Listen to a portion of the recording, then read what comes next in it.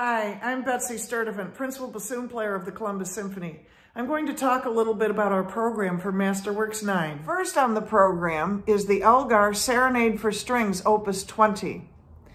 Edward Elgar was England's best-known romantic composer. He wrote this work in 1892, so it was one of his earlier works. He was an accomplished violinist, so he was quite comfortable writing for the string instruments. Throughout his career, whenever Elgar was asked which of his compositions was his favorite, he always named the Serenade for Strings. Next on the program is the Haydn Sinfonia Concertante.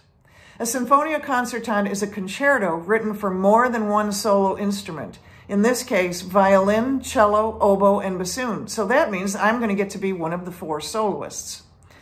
Haydn, who was known as the father of the symphony, and he was also known as the father of the string quartet, wrote this work in 1792 at the urging of his friend in London, who warned him that Haydn's former pupil, Pleyel, had been writing Sinfonia Concertantes in London, and the audience was just going crazy over these works.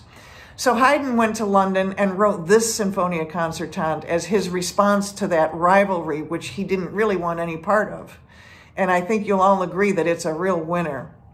This is a little snippet from the opening of the third movement.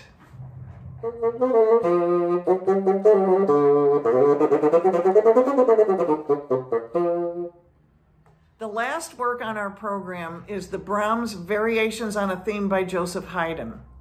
This work was written in 1873 by the very well-known German Romantic composer Johannes Brahms. He based his theme for this work on a field partita written by Franz Joseph Haydn. The second movement of that field partita featured the St. Anthony Chorale. And this ended up being the basis for one of the most famous works ever written for orchestra. I'm going to play a little bit of that theme for you right now on the bassoon.